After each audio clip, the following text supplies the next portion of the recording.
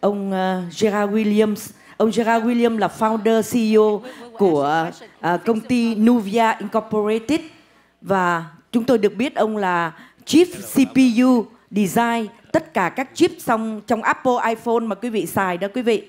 Chip mà Apple 8 đến chip Apple 12 và chip M1 là cái chip mà chạy nhanh nhất trên thị trường semiconductor vượt mặt cả uh, Intel hiện nay đó quý vị.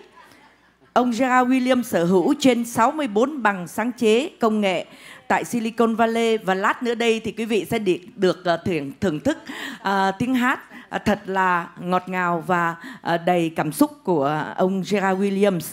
Uh, đó là nhờ hiền thê là Bích Tuyền uh, đã, đã coach và uh, vì cái tình yêu trái tim Việt Nam cho nên là ông đã hát và rất là yêu uh, ẩm thực Việt Nam nữa đó quý vị. Và uh, báo uh, Forbes Magazine đó thì đặt tên nickname cho ông Gerard Williams là phù thủy công nghệ đó quý vị. À, ngoài tài năng thì ông còn hát rất là hay quý vị lát nữa quý vị sẽ được thưởng thức một tràng phát tay thật lớn để đón chào hai vị uh, ân nhân bảo trợ uh, của ngày hôm nay cho cái chương trình VACA Vietnamese American Copyright Association ông bà Gerard Williams và Bích Tuyền và bé Sophia. Okay. So you say. Gerard, would you please have a few words with our audience? Oh, yes. Uh, everybody hear me okay? Yeah. Okay. Um, yeah, I wanted to say um, uh, this event actually that we're going to be doing today, um, it's, it's, it's actually for like people like this, Butanan, and uh, many, of the, many of the other songwriters out in the audience. Um, we want to try to actually uh, bring copyright uh, to um, all the songwriters and what they can do. Uh, so that actually they, um, like many other workers, because it is it is a job.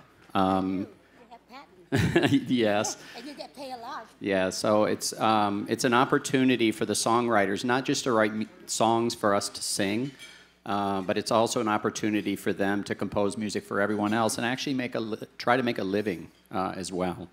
Um, so Tuen and I and Budalan uh, want to actually um, support this uh, effort um, and try to bring this to the Vietnamese community. So, so all the songwriters uh, and composers can actually have an opportunity to uh, in, enjoy life with uh, money from the music that they make as well.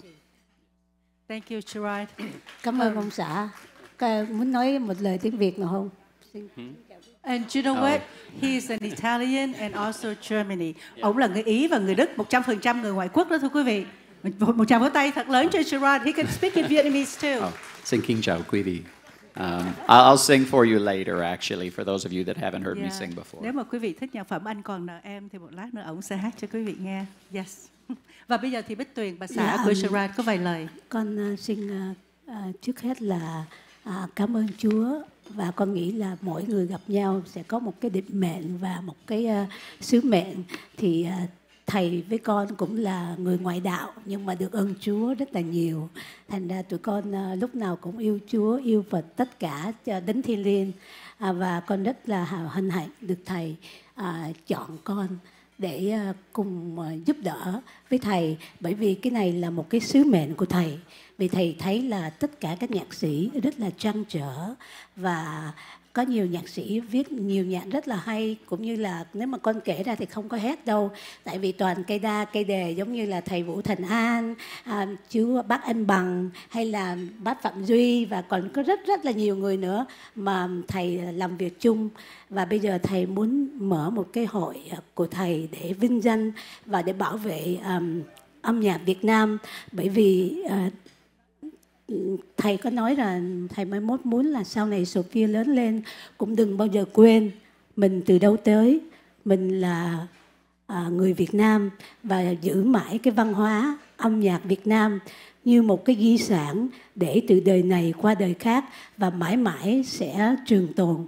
Thì con sẽ cầu nguyện Chúa và trời Phật cho thầy được có thật nhiều sức khỏe và bên cạnh tụi con à, sẽ cố gắng ủng hộ với thầy tất cả những gì con có thể làm được để cho thầy à, làm những cái à, sứ mệnh của thầy thật là trọn vẹn.